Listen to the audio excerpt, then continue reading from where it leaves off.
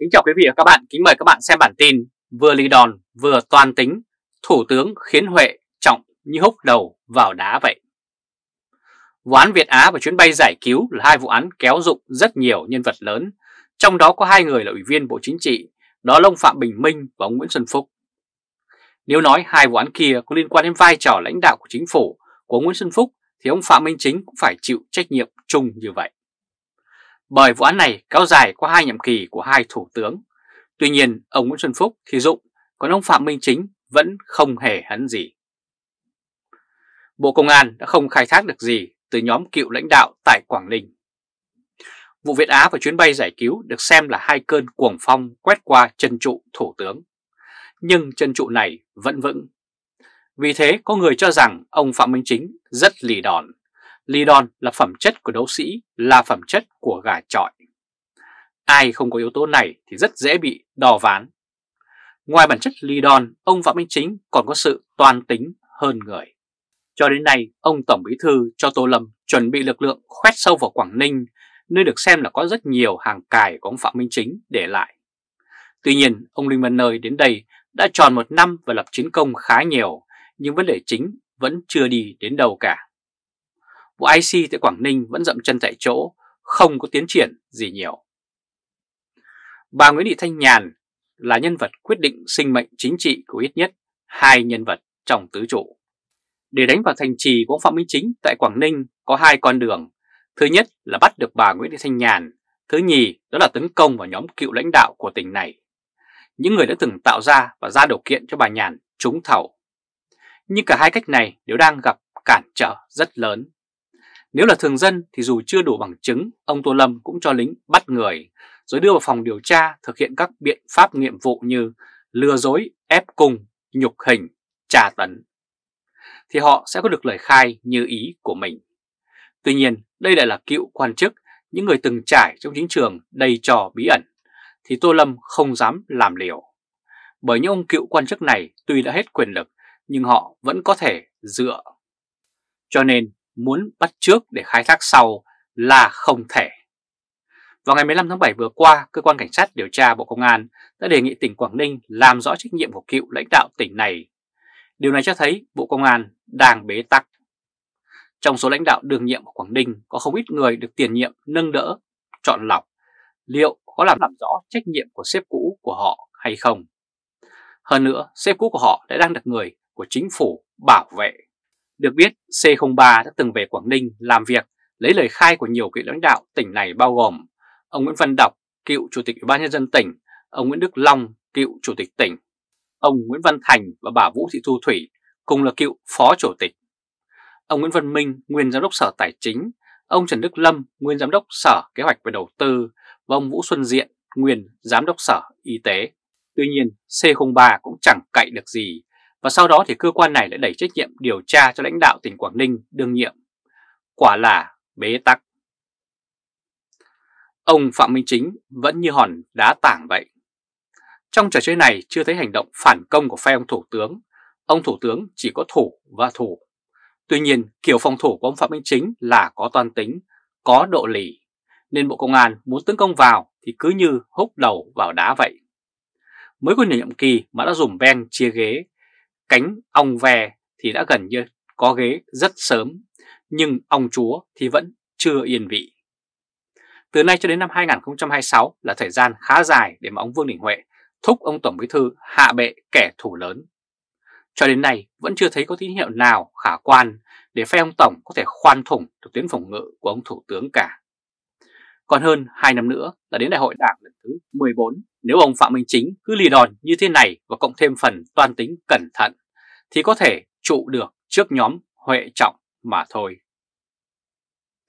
Quý vị và các bạn vừa theo dõi chương trình truyền hình trực tiếp với bản tin vừa ly đòn vừa toan tính, Thủ tướng khiến Huệ Trọng nhúc đầu vào đá vậy. Quý vị và các bạn hãy chia sẻ video này cho nhiều người biết và bấm nút theo dõi YouTube và Facebook của Thời báo .d để luôn được cập nhật những bản tin mới nhất, nhanh nhất và trung thực nhất. Từ Berlin, Cộng hòa Liên bang Đức chào các bạn và hẹn gặp lại các bạn ở bản tin lần tới.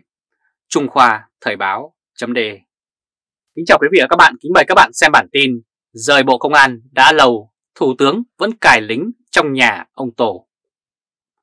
Có thể nói thời làm ở Bộ Công an, ông Phạm Minh Chính và Tô Lâm như là cặp hổ và sư tử vậy. Cùng thăng chức một lượt và cùng được bố trí những vị trí quan trọng tương tự như nhau. Tuy nhiên vào năm 2011, khi đang là Thứ trưởng Bộ Công an, ông Phạm Minh Chính được điều về Quảng Ninh nắm chức Bí thư tỉnh ủy. Phạm Minh Chính rời Bộ Công an xem như đi đường vòng, còn Tô Lâm thì trụ lại Bộ Công an. Tô Lâm xem như đi đường thẳng. Nguyễn Di Linh, người chưa kịp ngồi vào chiếc ghế Tổng cục trưởng B05 thì đã bị lính của ông Phạm Minh Chính quật. Vào năm 2006, Phạm Minh Chính được bổ nhiệm làm Phó Tổng cục trưởng Tổng cục Tình báo Kinh tế, Khoa học, Kỹ thuật của Bộ Công an, tức là B05.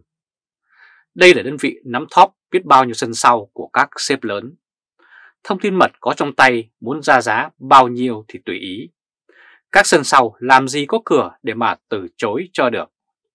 Sau khi ông Phạm Minh Chính rời Bộ Công an, lính của ông tiếp tục ở lại đây khá nhiều. B05 được xem là ổ gián điệp trong lòng địch. Nó là cơ quan thuộc quyền của ông Tô Lâm, nhưng trong đó đàn em của Phạm Minh Chính lại khá nhiều. Mà Tô Lâm và Phạm Minh Chính từ lâu đã chẳng hề ưa nhau. Trước đây, Tô Lâm dự tính đưa đại tá Nguyễn Duy Linh, con trai của tướng Nguyễn Văn Hưởng lên nắm cục B05 với ý đồ nhất tiễn hạ song điều. Mục đích là để giành lấy miếng ngon về phần mình, đồng thời tìm ra và loại bỏ những hạt giống mà Phạm Minh Chính để lại. Tuy nhiên, ông Tô Lâm đã không lường hết được sức mạnh của các hạt giống mà ông Phạm Minh Chính đã gieo trước đó. Nguyễn Duy Linh đã bị cấp dưới hạ gục trong vụ án Vũ Nhồm. Tô Lâm biết chuyện nhưng không thể cứu được Nguyễn Duy Linh vì vụ việc đã vỡ ra to quá rồi. Cuối cùng Tô Lâm quyết định không cho bất kỳ đàn em nào của chính ngồi vào đấy cả. Hầu hết những người có năng lực cho chức cục trưởng đều là đàn em của Phạm Minh Chính.